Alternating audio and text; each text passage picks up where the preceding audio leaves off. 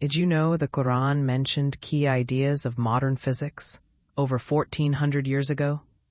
In Surah Ad-Dhariyat, verse 47, Allah says, And the heaven we constructed with strength, and indeed, we are its expander.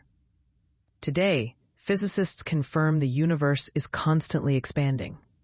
Galaxies are racing away from each other, just as the Quran described. In Surah Yasin, verse 40, Allah says, The sun is not to reach the moon, nor does the night overtake the day, but each is swimming in an orbit. Modern astronomy shows exactly this. Every planet, star, and moon moves in a precise orbit, maintaining the balance of the universe. Expansion and orbits. Physics confirms what the Quran revealed centuries ago. Signs for those who reflect.